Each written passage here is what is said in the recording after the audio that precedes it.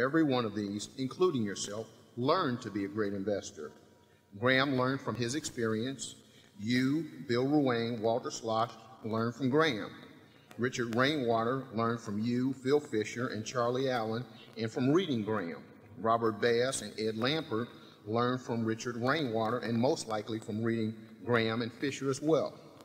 These observations lead me to the conclusion that despite intellectual brilliance, although that probably helps, I've come to the conclusion that great investors are made, not born. Do you and Mr. Munger agree with this conclusion? If so, why? If not, why not? And if you do agree, what things would you recommend that someone do if they wanted to become a great investor? Also, what mental attributes do you think a person should have if they want to try to become a great investor? Thank you very much. Yeah, I largely agree with what you said. It, it, uh, I would say that there, I don't know to what extent uh, an ability to detach yourself from the crowd, for example. I don't know to what extent that's innate or to what extent that's learned, but that's a quality you need. I, I would agree totally with you that a, a, great, a great IQ is not needed. I mean, you do not have to be terrifically smart to do well as an investor at all. Uh, I would say you're 100% right that I learned from Graham first in a very, very big way, and I learned something additionally from Phil Fisher, and I learned a lot from, from Charlie. And the proof is in my record, actually. From 11 to 19, I was reading Garfield Drew and Edwards and Magee and all kinds of, I mean, I read every book, Gerald M. Loeb. I mean, I read every book there was on investments and I didn't do well at all. And I had no real investment philosophy. I had a lot of things I tried. I was having a lot of fun. I wasn't making any money. And I read Ben's book in 1949 or 50, 49 when I was at the University of Nebraska. And, and that actually just changed my whole view of investing. It, and really, it basically told me to think about a stock as a part of a business. Now, that seems so obvious. You can say, you know, that, that why should you regard that as, a, as, as, the Rosetta Stone? But it is a Rosetta Stone in a sense. It, it, uh, once you crank into your mental apparatus that you're not looking at things that wiggle up and down on charts or that people send you little missives on, you know, saying buy this because it's going up next week or it's going to split or the dividend's going to get increased or whatever.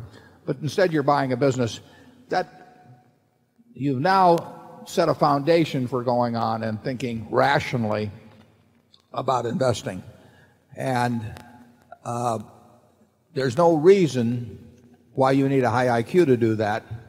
Uh, there's no reason why you have to be born in some way. I, I do think there's certain manners of temperament that may be innate, and they may be learned, they may be intensified by experience as you go on, partially innate, but then reinforced in various ways by your experience as you go through life. But that's enormously important. I mean, you have to be realistic. You have to just define your your circle of competence accurately. You have to know what you don't know and not get enticed by it. You you can't you can't be you have to have an interest in money, I think, or you won't be good at investing. But I think if you're very greedy, it'll be a disaster because it, that will overcome rationality. Uh, but I think I think the same books I read uh, and really molded what I how I thought about businesses and investing. I think that they're just as valid now. I mean, I haven't seen anything in the last 25 years, and I read, I, I, I glance through most of the books anyway. I've, I've seen nothing to improve on Graham and Fisher in terms of the basic approach of, of going about investing, which is to, is to think about stocks as businesses and then think about what makes a good business. And really, that's all there is to, to investing and, and, and having a margin of safety, which Ben talks about, and so on. It's, it's not a complicated process, but it, it, it definitely requires uh, discipline. It, requ it requires insulating yourself from popular opinion. You just you simply cannot you can't pay any attention to it. It just doesn't mean anything. So you can't. The idea of listening to lots of people tell you things and all that it's just a waste of time. And, you know you'd, you'd be better off just sitting and thinking a little bit. I mean, there were there were no analyst reports on custom frame uh, makers, you know, uh, it just doesn't, uh, and, and they wouldn't have been any good anyway. You just have to, you have to think. But you have to think about them as in terms of their business characteristics and what they can earn on the on the on capital employed and that sort of thing. Uh, I would just read the, you know, I would I would read the Graham and the Phil Fisher books and and and then read lots of annual reports, think about businesses, and try and think about which businesses you understand and which you don't understand. And you don't have to understand them all. Just forget about the ones that you don't understand. Charlie? Yeah, at a deeper level of generality, if you have a passionate interest in in knowing why things are happening, you always are trying to figure out the world in terms of why is this happening or why is this not happening. Uh, that cast of mind kept over long periods uh, gradually improves your ability to, to cope with reality. Uh, and if you don't have that cast of mind, I think you're uh, you're destined probably for failure, even if you've got a pretty high IQ. Yeah, I would say we've seen relatively little correlation between investment results and IQ. I mean, that, not, not that there are a whole bunch of people out there with 80 IQs that are knocking, you know, the cover off the ball, but, but there are all kinds of people with high IQs that get no place.